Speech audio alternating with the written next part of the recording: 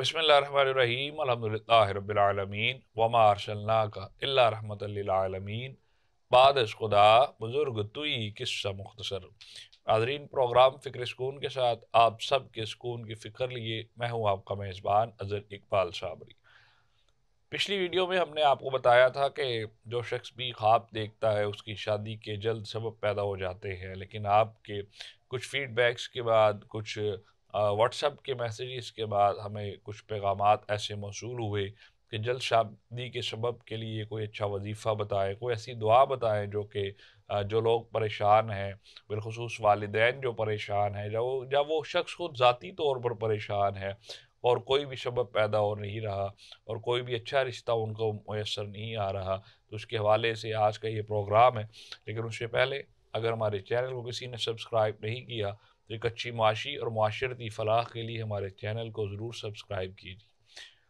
नज़र मोहतरम जो शख्स भी कोई एक वक्त मुकर कर ले, उस वक्त मुकर्रा में अपने रब के हजूर कुरान को खोलते हुए मैं दर्जिल सूरह बताता हूँ। इन दो सूरत को, दो सूरह को अपने रब की बारगाह में पढ़ता है और मुसलसल मुतवातर पढ़ता रहता है तो इन यकीन अल्लाह रबुल्ज़त उसकी दुआ को कबूल फरमाएगा। ये अमल 21 दिन लगातार करने वाला है। अगर कोई शख्स 21 दिन लगातार इस दुआ को मुसलसल अपने रब की बारगाह में पेश करता रहे तो यकीनन अल्लाह ताला उसके लिए जल्द कोई अच्छे रिश्ते का सबब पैदा फरमा देगा।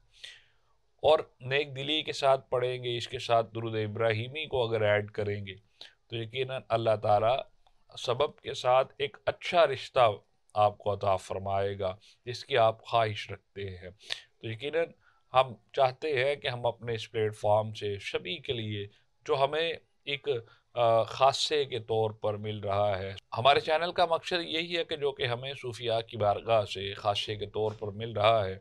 हम उन्हें लोगों तक पहुँचा सकें ताकि ये जो भी, जितनी भी फलाह हो सके लोगों की, जितना भी लोग इससे अलिया का जो फैज़ है, जो फैज़ान है, वो तकसीम हो रहा है और हम उन लोगों तक पहुँचा सकें।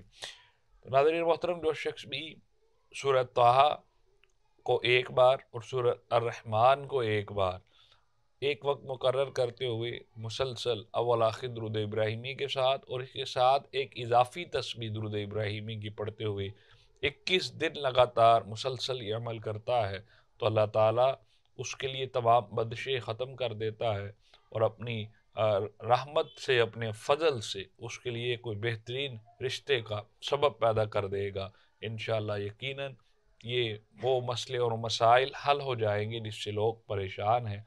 हम उम्मीद करते हैं आपको हमारा प्रोग्राम बहुत पसंद आया होगा। इजाज़त दीजिए। फ़िक्र स्कून की टीम के साथ। अस्सलाम वालेकुम वरहमतुल्लाहि